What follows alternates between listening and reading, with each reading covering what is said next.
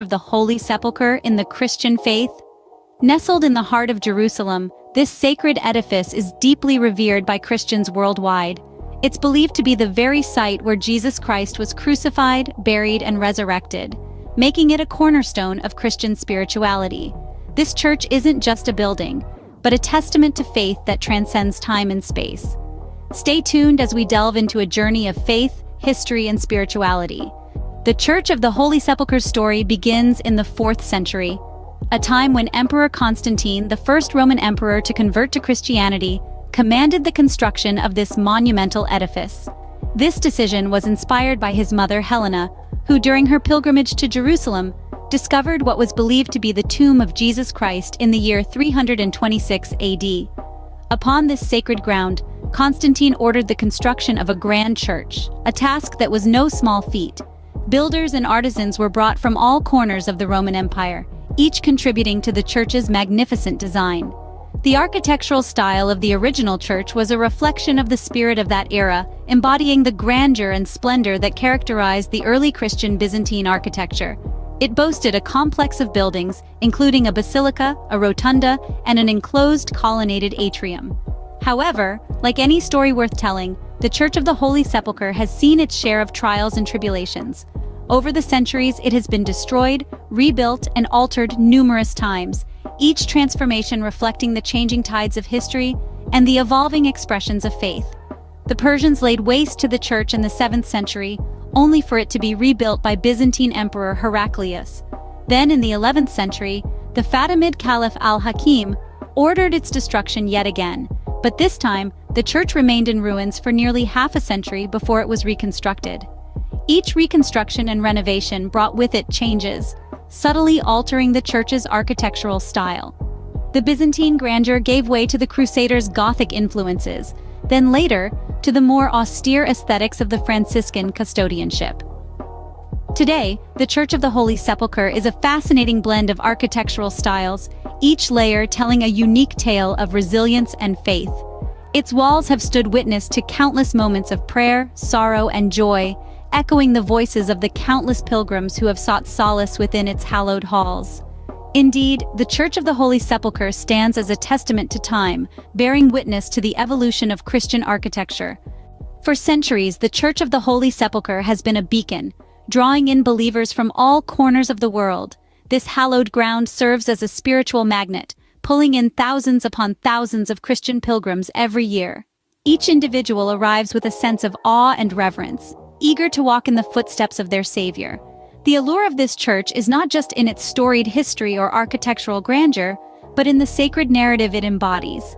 It's a living testament to key moments in Christian lore, the crucifixion, burial, and resurrection of Jesus Christ. Pilgrims who journey here are not just visitors, but participants in a timeless story of faith and redemption.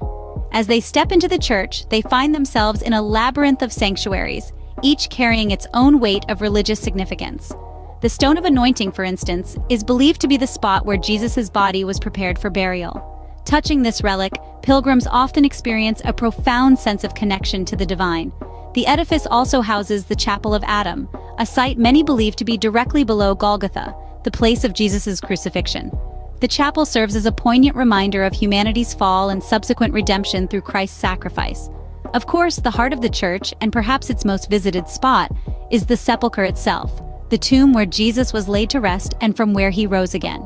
Many who travel here describe their visit to the sepulchre as a spiritually transformative experience. Despite the throngs of visitors, there's an undeniable sense of peace within these ancient walls. Whether it's in the hushed whispers of prayer, the soft glow of candlelight, or the scent of incense wafting through the air, one can't help but feel a deep sense of reverence. The Church of the Holy Sepulchre remains a spiritual haven, a destination for those seeking a profound connection with their faith. It's more than just a place of pilgrimage, it's a journey into the heart of Christian belief, a testament to the enduring power of faith, and a reminder of the promise of redemption.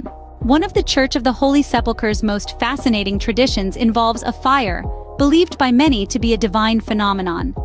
This is not just any fire, but the Holy Fire, a miraculous event that takes place annually on Holy Saturday, the day before Easter Sunday. This tradition is steeped in centuries of faith and holds a deep spiritual significance for believers. The Holy Fire ceremony is a spectacle to behold. It all begins with a solemn procession led by the Greek Orthodox Patriarch of Jerusalem. The Patriarch enters the tomb of Jesus alone, with a bundle of 33 candles, representing the years of Jesus' life on earth. He prays and waits for the miraculous appearance of the Holy Fire. The anticipation in the air is palpable, as the crowd waits in silence, their hearts filled with hope and faith. And then, it happens. The patriarch emerges from the tomb, the candles in his hands ablaze with what is believed to be the holy fire. This is not just an ordinary flame, but a divine light that believers claim does not burn in the initial moments after its appearance.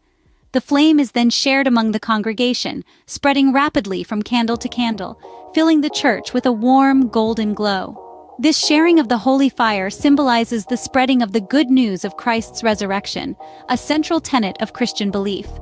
But the holy fire is more than a spectacle. It is a divine phenomenon that strengthens the faith of believers, a tangible sign of the divine that fuels their devotion.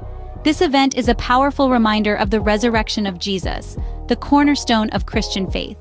It also serves as a beacon of hope, a symbol of the light of Christ that overcomes the darkness the Holy Fire ceremony continues to draw millions of believers from around the world year after year. For them, participating in this event is a profound spiritual experience, a chance to touch and be touched by the divine. The Holy Fire, a symbol of Christ's resurrection, continues to kindle the faith of millions.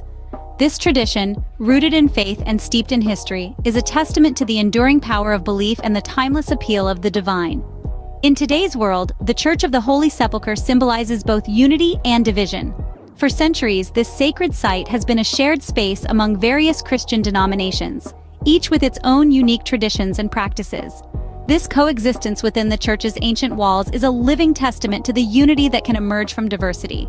It's a place where the Greek Orthodox, Roman Catholics, Armenian Apostolics, and others each find a home, each contribute to the rich tapestry of faith that is woven here. Yet the Church of the Holy Sepulchre also mirrors the divisions that exist within Christianity. Each denomination has its own designated areas within the church, and these boundaries are highly respected, if not strictly enforced. There are even times when this division becomes palpable, like during the Holy Week, when separate processions are held, each following its own ancient rituals and traditions. Managing this complex cohabitation is not without its challenges. Over the centuries, conflicts have arisen over rights and responsibilities, over who gets to worship, where and when. This has led to what is known as the status quo agreement, a delicate balance of power and space that has been maintained, more or less, since the mid-19th century. The status quo agreement is an intricate set of rules and traditions that governs everything from who cleans which part of the church to the exact timing of each denomination's liturgies. It's a remarkable system, one that has managed to keep the peace albeit precariously, among these diverse Christian communities. But let's not lose sight of the bigger picture here. Despite these divisions, despite the occasional conflicts and disagreements, the Church of the Holy Sepulchre continues to be a beacon of faith for millions around the world. It's a place where differences are set aside, where shared beliefs are celebrated, where the message of love and forgiveness is echoed in every stone and corner. Despite the differences, the Church of the Holy Sepulchre stands as a unifying symbol, a testament to the enduring power and resilience of faith. As we conclude our journey, we're left with a profound understanding of the Church of the Holy Sepulchre's lasting significance. This magnificent structure, painstakingly erected centuries ago, stands today, not merely as a testament to architectural prowess, but as a symbol of faith and devotion. It is more than just bricks and mortar. It is a place of pilgrimage, a destination that has drawn countless believers to its hallowed ground, seeking solace, redemption, and spiritual enlightenment.